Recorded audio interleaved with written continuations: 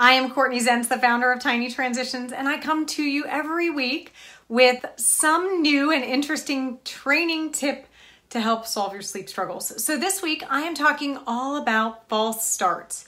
And I want to begin today by explaining what a false start actually is because you may not be aware that your little one is currently experiencing one. So, a false start is typically when your child wakes somewhere between 45 and 90 minutes after they go down for bed. It is what we refer to in the sleep consulting space as a false start.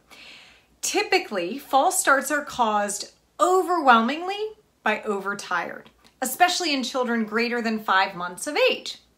So, when you experience a false start, they are most likely linked to a day where either the total amount of naps were off or the last nap to bedtime window was off, meaning your child was potentially overtired going down to sleep or they only slept, for example, two hours out of what should have been a four hour type of day.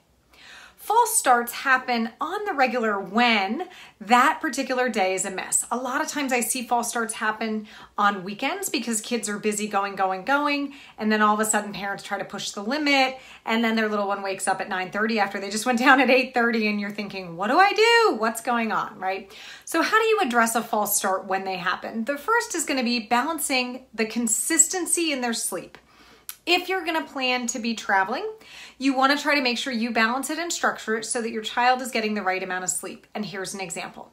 If your child's over the age of one, they're currently taking one nap a day, if they're somewhere between typically one and four, right? But if you're traveling at 10 o'clock in the morning, that motion is almost always going to put them to sleep.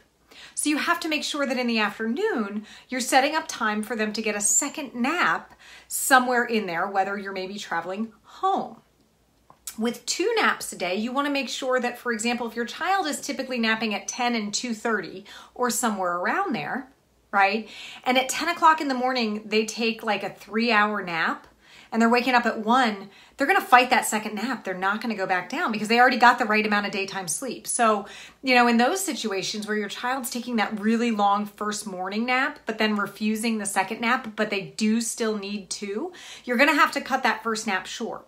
Sometimes it means capping it at about 90 minutes to make sure that the child has enough time to build up sleep pressure or what's called adenosine into the afternoon so they can go down for that second nap and then take a nice full cycle for the second nap and still have the good and proper timed bedtime that is appropriate.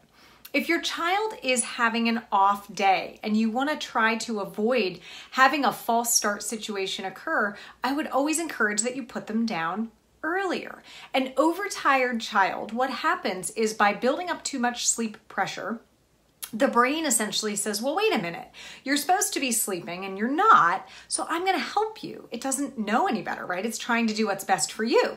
So it's going to say, Well, I'm to help you out if you're not going to sleep, so here's some adrenaline and cortisol. Well, those are stimulant hormones, right? So all of a sudden your body gets your body gets flooded with stimulant hormones and then you fall asleep and then shortly after that you're wide awake, right? So you want to pay attention to the right balance. Overtired is almost always the culprit. And if you're just beginning sleep training with your little one, it is something that will disappear within the first week. As the strength of independent sleep gets stronger, their ability to recognize how to go down, how to stay asleep, and how to consolidate cycles gets stronger and stronger.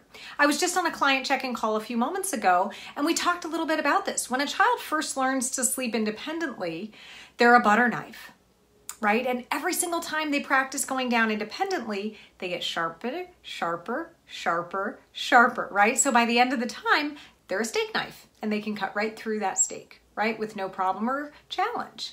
Sleep's a skill set. And foundationally, that consistency is the number one thing that we need to do.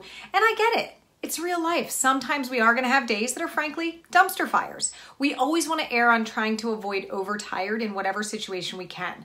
Whether it means an earlier bedtime, it may mean a supported nap, you go for a walk, the days are going to happen. That's the reality of it. The beauty is that with consistency, with the proper timing and with that strengthened skill of independent sleep, your child too can go to sleep and stay asleep the whole night. Now, if that sounds too good to be true for you, or you are still struggling, you've tried a lot of different things, I want you to know sleep is complex. And I want to make sure that you know you can always reach out to set up a preliminary evaluation call with us. We offer free before and after calls. We'll jump on the phone for about 30 minutes. You can schedule a call with myself, or if I'm unavailable, I do book out a little bit in advance. You can also book out with one of members of my team. We'll talk to you about what sleep coaching looks like. We'll talk to you about your results. Every family's different, every parenting style is different, and frankly, every approach that we use with each family is different right?